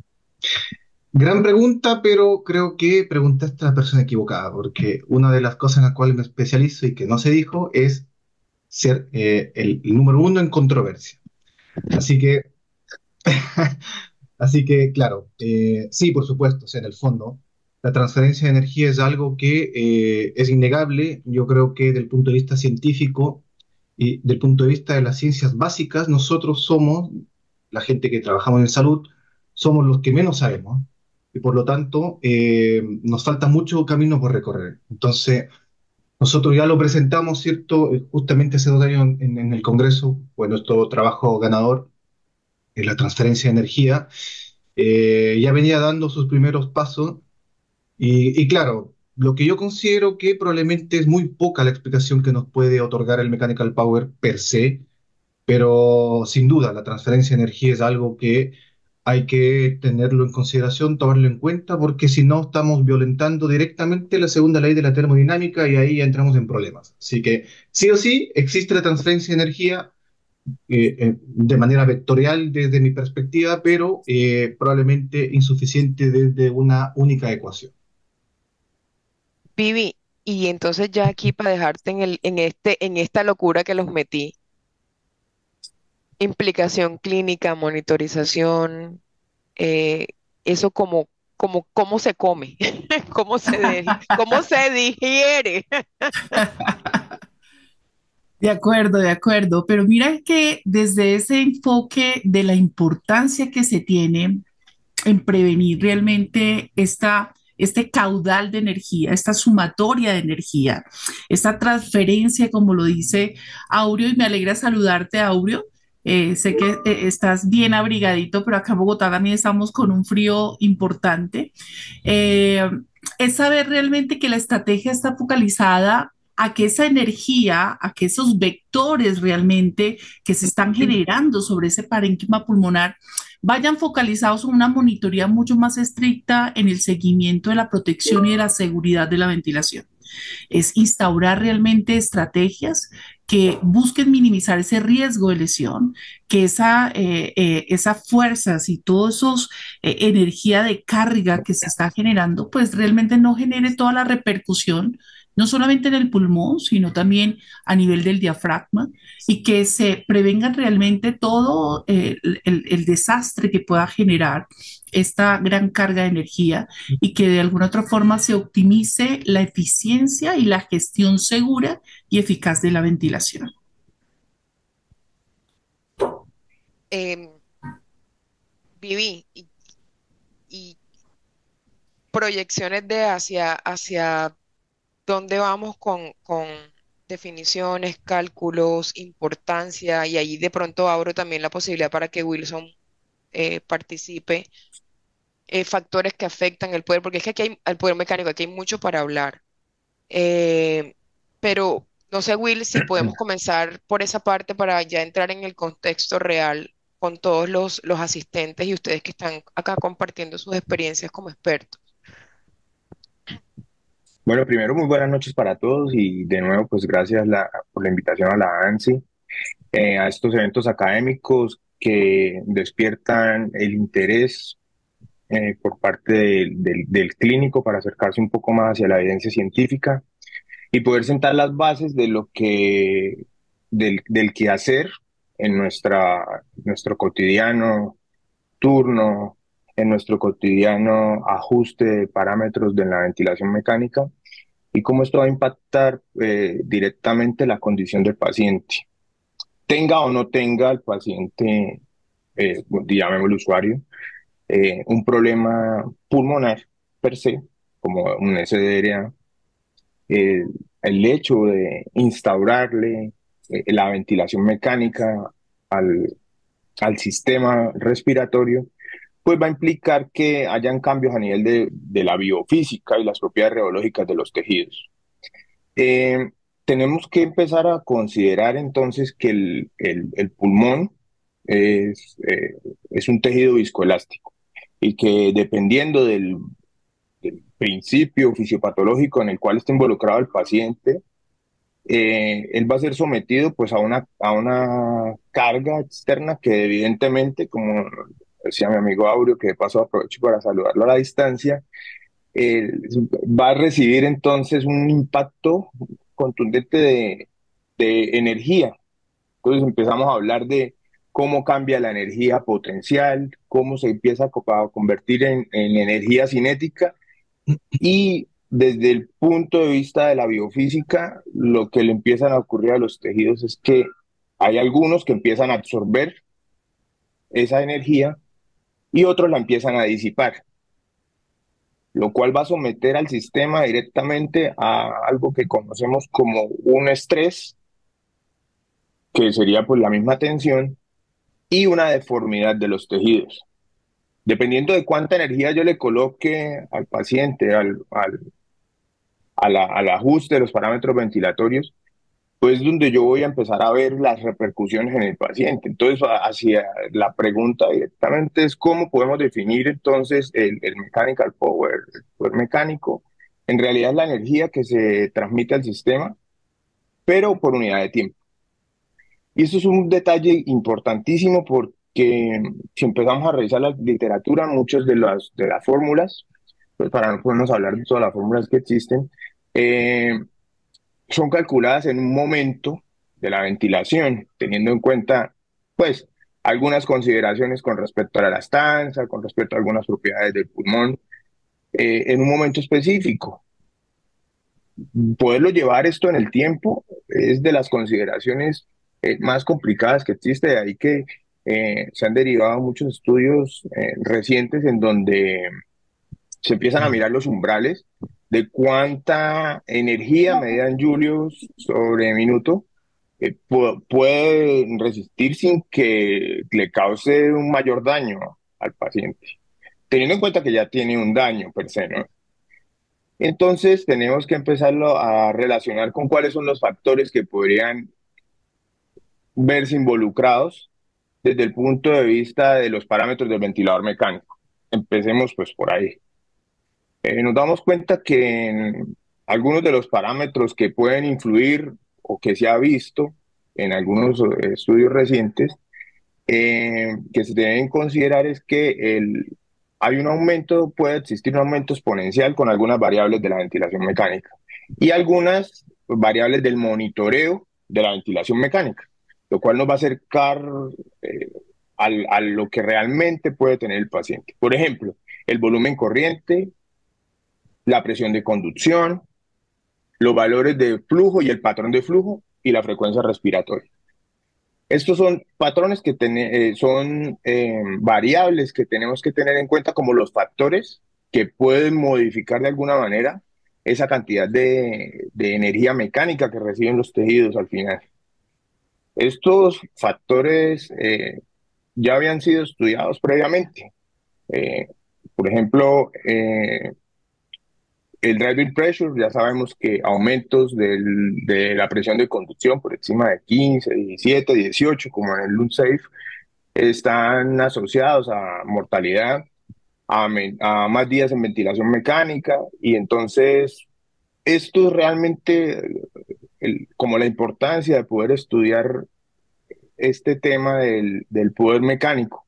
¿Hasta dónde es una herramienta útil que yo pueda medir o que pueda eh, orientar, ¿sí? un posible riesgo de aumento en el, en el impacto de la injuria pulmonar si lo mido a la cabecera del paciente o realmente yo puedo tomar algunos elementos para poderlo estimar de manera indirecta, porque aplicar las fórmulas, bueno, esto, esto es bastante complejo.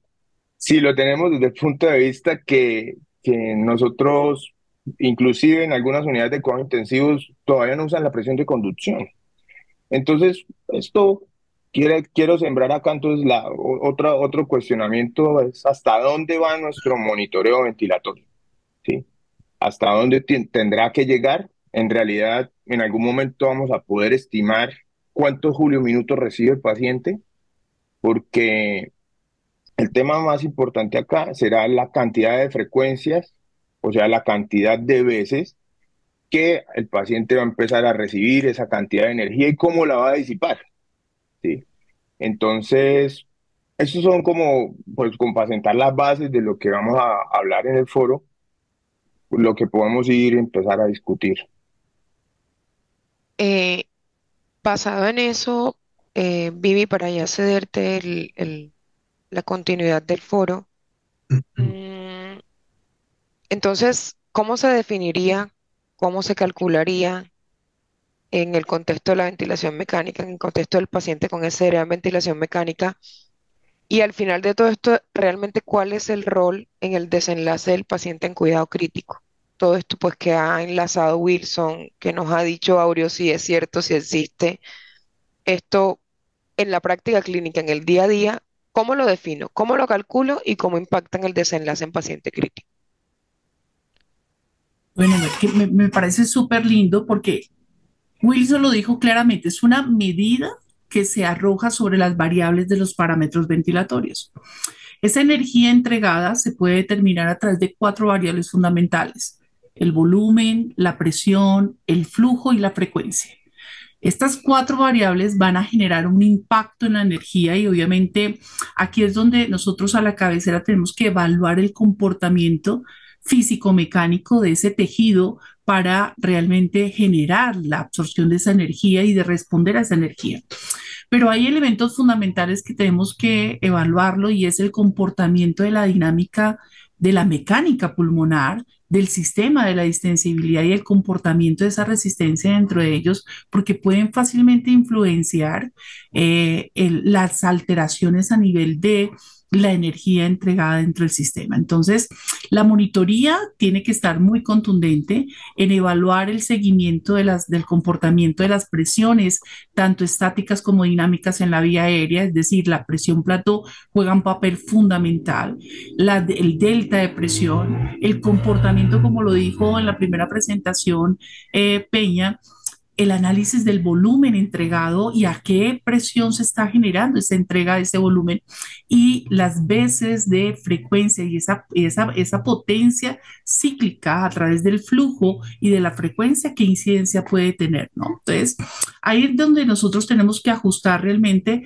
las estrategias y buscar las medidas para mejorar los desenlaces y garantizar realmente una ventilación de seguridad y esa seguridad que vaya eh, reflejada en la protección pulmonar y en la eficiencia de la ventilación alveolar con mejoría de la redistribución de ese flujo y ese gas y de esa energía entregada en el sistema. Aureo, ¿qué puedes aportar? Porque es que es una pregunta bien grandota, o sea, definirlo, calcularlo y poder, Y medirlo. sí, o sea, o- y no solamente medirlo, Vivi, sino realmente en, de- en el- en desenlaces clínicos, tú qué pudieras sumarle a lo que dice Viviana. A ver, yo creo que estamos lejos, en realidad muy lejos de, de saber exactamente eh, o puntualmente, más bien, valores eh, aproximados, ni siquiera exactos, aproximados de el comportamiento viscoelástico eh, del tejido pulmonar. Hay muchas variables y yo creo que el mechanical power es solamente una pequeña parte de todo lo que falta aún por descubrir.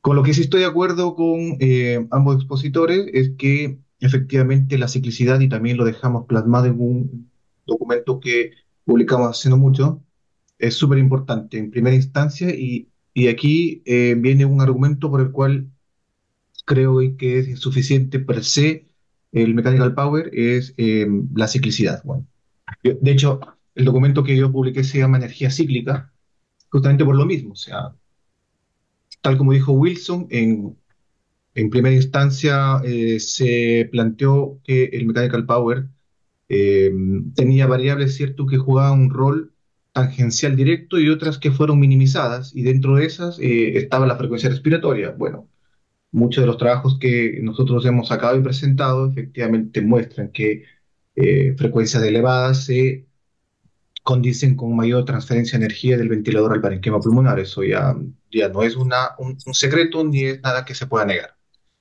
Y eh, algo que me llama mucho la atención, que es el segundo punto en el cual estamos trabajando, porque en el fondo, como dije inicialmente, estamos lejos de tener valores eh, ni siquiera aproximados de cuánta energía le estamos transmitiendo eh, desde el ventilador al parénquima pulmonar y mucho menos, yo creo que muy lejos aún, de saber cómo es capaz este parénquima pulmonar de recibir esta energía y tal como dijo Wilson, o disiparla, pero ahí lo complemento, convertirla porque no se puede perder, siempre tiene que estar en algún lugar, asimilarla porque también es la otra opción, o simplemente dejarla pasar. Entonces, hay muchas formas, digamos, de transmisión de la, y por eso es que yo le llamo vectores, eh, y sin embargo, estamos un poco lejos de eso. Hay modelos experimentales que ahora estoy trabajando, como, como tú sabes, Carmen, en, en complementar esta hipótesis que estamos planteando, pero para eh, completar lo que decía, las variables que son miradas a menos desde el mechanical power creo que están empezando a tomar mucha relevancia. Y dejando de lado un poco a las clásicas que siempre se habían manejado, ¿cierto? Como el volumen tidal, la presión peak, para mí no sirve para nada, está fuera de absolutamente de, de todas las ecuaciones, ¿ya? Eh, y eh, estamos tomando en consideración, y eso es en lo que estamos ahora volcados en absoluto con el grupo, la PIP. La presión positiva al final de la respiración juega un rol trascendental. Eh, ¿y por qué? Porque es el punto de partida. O sea, si yo construyo un rascacielos sobre cimientos de papel, se me va a caer, o sea, sin duda. Por lo tanto, la PIB tiene que ser un valor inicial potente, fuerte, bien eh, establecido, y a partir de eso todo lo demás podría, cierto, ser regulado en el camino, pero el cimiento principal, la, la columna medular de la forma en la cual el pulmón eh, es capaz de recibir cierto, esta energía y de ahí aprovecharla, disiparla o lo que sea, siempre tiene que ser una PIP eh, seteada adecuadamente.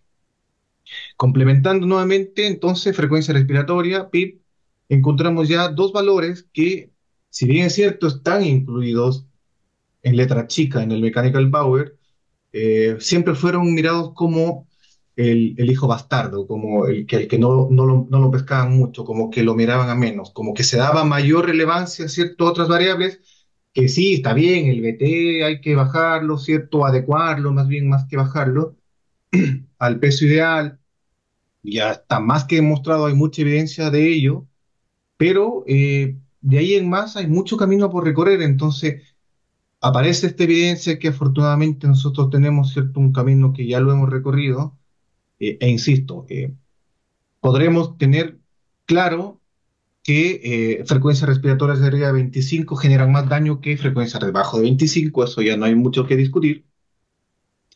Y sin embargo, aún existe, tal como dijo Wilson, unidades en las que ni siquiera se mide el driving pressure.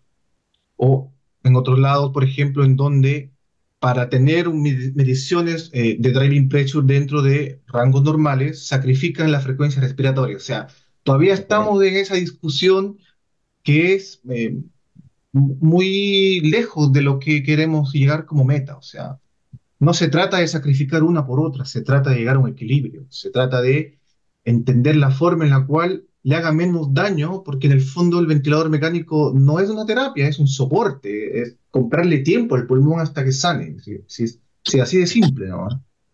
Y que probablemente más adelante encontremos otro tipo de ecuaciones no variables, ecuaciones, y en eso estoy discutiendo incluso con John Marini, eh, porque creemos que eh, la cosa es mucho más compleja que una simple variable. Así que, tal como te decía Carmen, esto es un tema gigante, pero estamos aún muy lejos de eh, tener exactitud en contexto de mediciones, pero muy apasionante, por supuesto. Yo, yo con esto me despido para que Vivi me siga apoyando y, y, es súper importante, sobre todo este paper de, de Rocco con Marini, donde ellos establecen la parte del Elastic Power, pero no el Driving Power como la llave para promover eh, esta, este Billy, ¿no? Y, el componente dominante, y ellos lo establecían, ¿cierto? Lo, describían muy bonito y, el componente dominante, todo ese famoso total power, eh, es el elastic power y allí lo que tú decías incluye la PIP como el punto de partida del strain dinámico, eh, en donde definitivamente, eh, exacto, estático, en donde definitivamente el componente complementario es el DP y el volumen minuto, ¿cierto? Y que en efecto la potencial injuria que vaya a estar asociada a esta energía o esta energía que no sabemos por dónde coge, o se absorbe, o se disipa, o se transmite, eh, generada por el ventilador, va a depender principalmente de la capacidad que tenga el, el, parénquima, como decía Vivi, de, de distenderse, de, retraerse para compensar todo esto a través de, de flujo, ¿verdad? Porque en efecto el flujo también se disipa principalmente a través de, bueno, ya sabemos, del tubo endotraqueal, de las vías respiratorias centrales y todo esto. Y, y por otro lado, pues la PIP se almacena temporalmente como energía, una energía que, nosotros la llamamos energía potencial elástica para que en algún momento sea disipada a través de, cuando la válvula exhalatoria se abre, eh, antes de que comience el siguiente ciclo y pues allí entonces la potencia aplicada pueda superar la resistencia al flujo eh, y la ya entonces entraría como en descarte y bueno, en fin, esto ocurre ciclo a ciclo y es lo que realmente eh, se está tratando tiempo a tiempo de, medir, ¿cierto? Y, es el reto grandote. Entonces, eh, hay mucha tela, mucha tela para cortar. Aquí el doctor eh, Isjovi pregunta qué fórmula para, para calcular el mechanical power recomiendan. O sea, ahí se las dejo, Vivi. Yo hasta aquí pues voy a apagar el, el, el micrófono quedaré solamente viendo para que me sigan apoyando. Ya ahorita les compartimos la app, obviamente que existen muchas fórmulas para poderlo eh, generar, pero pues ya están integradas dentro de ellos y lo podemos hacer. Aureo, tú comentaste algo supremamente fundamental y me parece que es de resaltar, y Carmencita, gracias porque ya nos quedan como cuatro minutos nomás para poderlo, y es los desenlaces de saber asegurar un nivel de PIB para que realmente no genere la repercusión de esa carga de energía y esas fuerzas eh, sobre el tejido elástico. ¿De qué forma realmente aseguramos esa titulación de PIB?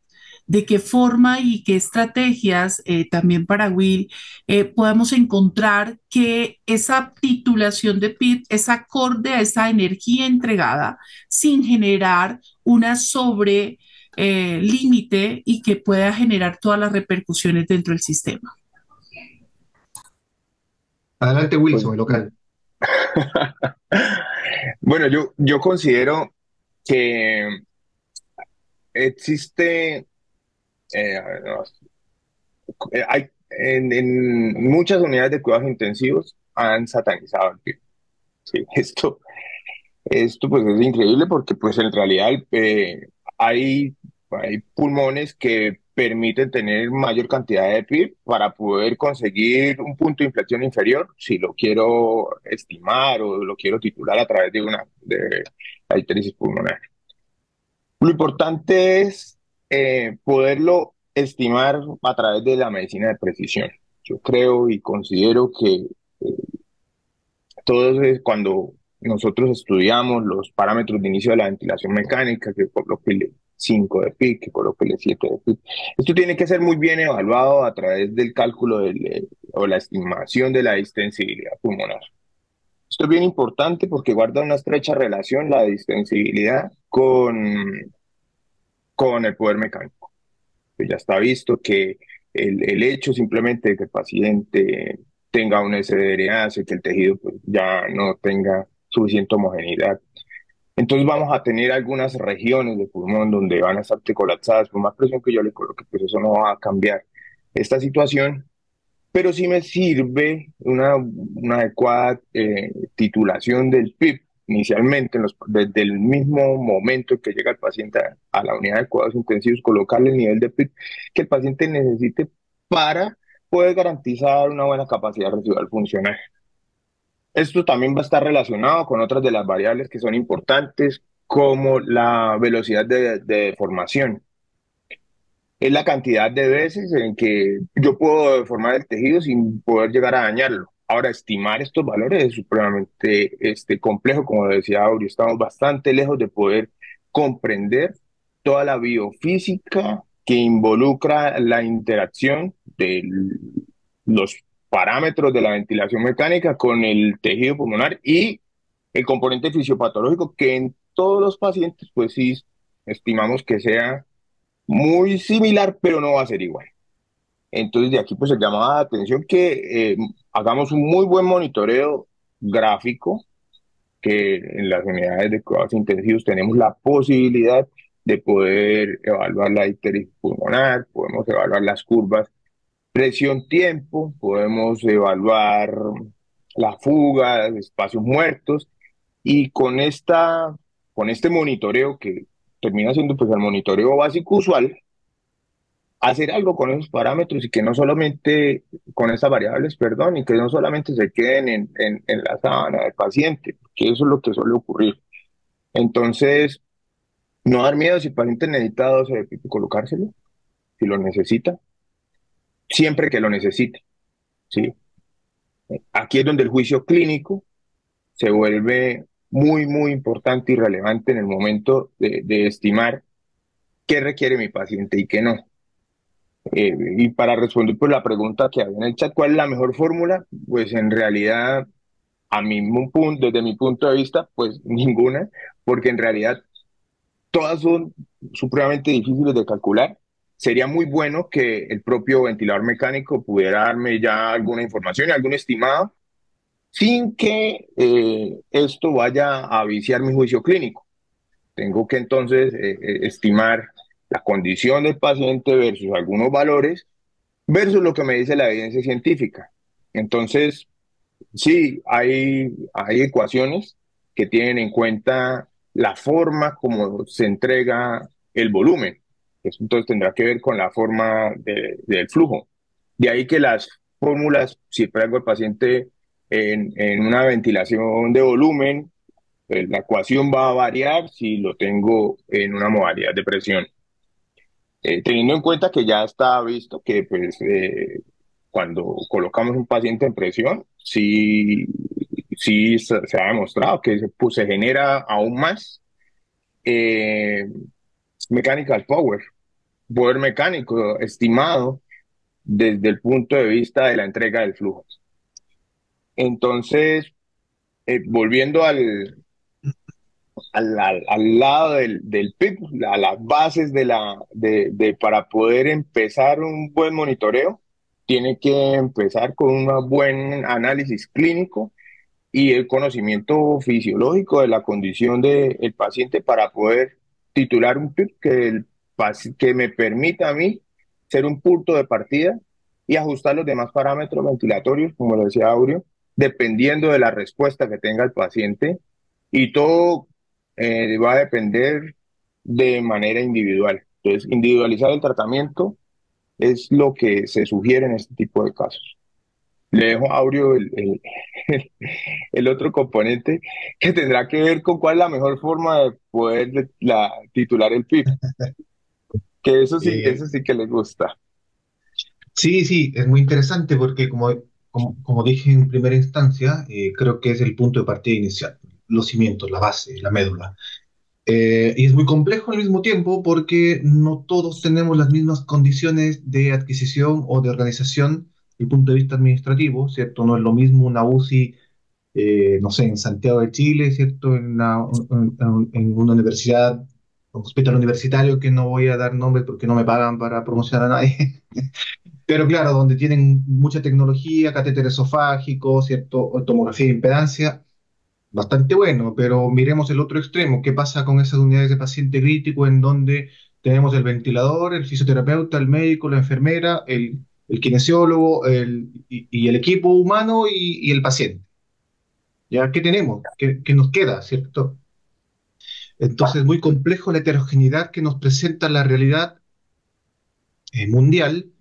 Asimismo, eh, no vamos a comparar, ¿cierto?, Rusia con, no sé, Perú sin mirar a menos a los amigos peruanos o, o, o mi hospital, por, por, decir una cosa así. Es muy complejo, entonces, sin embargo, a favor de todo esto, la forma eh, de determinar la PIB, yo creo que la mejor forma de hacerlo es rodearse de gente que entiende cómo funciona la presión positiva al final de la expiración, eh, compartir opiniones respecto de apreciaciones y, entrar en discusión. Más de dos cabezas piensan mejor que una. Por lo tanto, si yo me encuentro en una situación en la que no cuento con la tecnología de punta, porque es un lujo a esta altura, eh, para poder eh, hacer una eh, adecuada, un adecuado seteo de la presión positiva al final de la respiración, bueno, me puedo valer de herramientas clásicas antiguas que son valederas, pero condicionadas, ¿cierto? Yo puedo partir genéricamente, así como muchos amigos usan la tabla de PIB-FIO2, también es genérica. Eh, a mí no me gusta esa tabla porque siento que es muy genérica por lo mismo, pero es una, un, una buena forma de partir, ¿cierto? En aquellos lugares en donde no se tiene eh, un equipo para discutir, no se tiene una cabeza que puede tener conocimiento, ¿cierto? Y donde además no existe eh, la tecnología para apoyarse acuérdense que antiguamente teníamos cierto la interpretación errónea actualmente, por supuesto, de eh, los loops, en donde ya sabemos que eh, quedaron fuera de toda eh, realidad para seteo de la PIB. Y sin embargo, yo creo que lo primero que hay que ponerse a pensar es en una anamnesis, ¿cierto? No es lo mismo setear una PIB en un paciente obstructivo que en un restrictivo. Ya partimos por ahí y decimos, ah, ok, este sí que sabe hacer las cosas. Porque ahí ya puedo partir eh, eh, desde un punto inicial a sabiendas de, de que no le voy a hacer daño. Yo, por ejemplo, no esperaría que un paciente que está en un estatus asmático parta con una PIB de 10, o sea, es cuestión de entender la fisiopatología para saber que no voy a partir con, con, ese punto absolutamente erróneo. Y por el otro lado, un paciente que viene con un época enfisematoso con bulas, tampoco lo voy a partir con una PIB de 12, ¿ya? Asimismo, un obeso difícilmente voy a partir con una PIB de 5. Entonces, hay conocimiento que ya está generado a nivel mundial, que tiene una trascendencia importante, relevante, que es conocida y que nos permite tener matices para entender un punto inicial. De ahí en más, cómo tener un valor exacto, difícil saberlo, porque tendríamos que meternos nuevamente en la parte viscoelástica y es muy complicado llegar a ese nivel. Pero cómo hacernos un poco más precisos, que yo creo que, y personalizados, que creo que es como los puntos fundamentales, ahí viene lo que llama Luis Blanch el estado del arte o ventilar es un arte. ¿Ya? Entonces, bueno, midamos dos cosas muy importantes, midamos Chan, saturometría o eh, presión arterial, ¿cierto?, de oxígeno, y por otro lado midamos espacio muerto y podemos tener eh, carnografía volumétrica, puede ser sidefield o también podría ser la misma gasometría. Tratando de encontrar un equilibrio con estas cosas y haciendo uso de ecuaciones dinámicas, yo creo que podríamos llegar a un punto bastante eh, poco dañino de seteo de la presión positiva al final de la expiración. ¿Cómo llegar a la precisión? Insisto, estamos todavía lejos de la precisión, pero sí estamos muy, muy de cerca de la personalización y creo que por ahí va la cosa. Perfecto. Hacia allá yo creo que es que tenemos que dirigir realmente la estrategia y es asegurar realmente que esa presión, esa titulación de PIP, sea la herramienta mucho más efectiva, eficaz dentro de la cabecera del paciente para minimizar como los riesgos. Ya estamos sobre las 20 y 40 para optimizar los tiempos. Había una pregunta fundamental que dentro de ellos me parece súper importante y es hacia dónde se dirige realmente el poder mecánico y cuál es el futuro que tiene en él, ¿no? Eh, Aureo, ¿tú qué piensas desde la investigación que estás muy enmarcado en ello?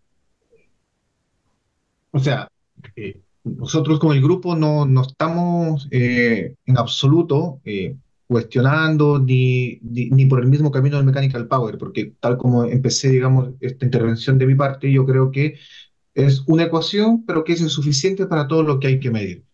Y hace no mucho estamos planteando otras variables, otras ecuaciones, además, eh, las variables que ya las hemos ido mostrando sistemáticamente en publicaciones que repito, la PIB, frecuencia respiratoria, y ahora estamos eh, juntando todo esto en ecuaciones para mostrar no solamente el elastic power, que ya es de dominio público también, un poco desconocido, pero estamos partiendo, digamos, eh, esta ecuación en subecuaciones que creemos que van a generar un poco más de precisión eh, respecto en esta transferencia de energía. ¿sí? Para adelantarles un poco, un spoiler si quieren hacia lo Game of Thrones, ah, perdón, Casa del Dragón.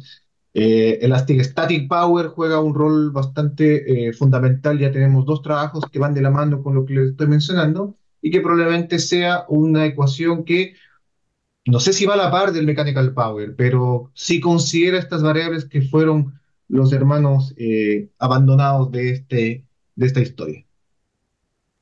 Qué chévere, porque ahí nos deja una ventana mucho más amplia para hablar un poco sobre el Elastic Power, ¿no es cierto? El Static Power, que nos puede llevar realmente a profundizar un poco más de estos elementos. Eh, Carmencita, yo creo que por dar tiempo y el respeto, pues, para los asistentes en términos de los espacios, Will, muchísimas gracias de verdad. Aureo, de verdad, muchísimas gracias. Eh, Carmencita, gracias por, por generar todos estos espacios de la semana y apoyar realmente a todo el equipo de los eh, terapeutas. Mateo, mil gracias de verdad por la invitación. No, a todos gracias ustedes, muchísimas gracias. Muchas gracias a Bueno, mil gracias por la in- invitación también. Eh, es para mí un, un gusto poderlos acompañar en este tipo de actividades y podemos seguir sacando este tipo de, de jornadas adelante. Aureo, muchísimas gracias y que sean muchas veces más tenerlo por estos medios. Nuevamente, eh, para mí un enorme placer y agrado compartir con todos ustedes. Eh, agradecimiento a Carmen, AMSI y por supuesto a todos los amigos que están al otro lado de la pantalla. Un abrazo, espero pronto vernos en persona. Pues.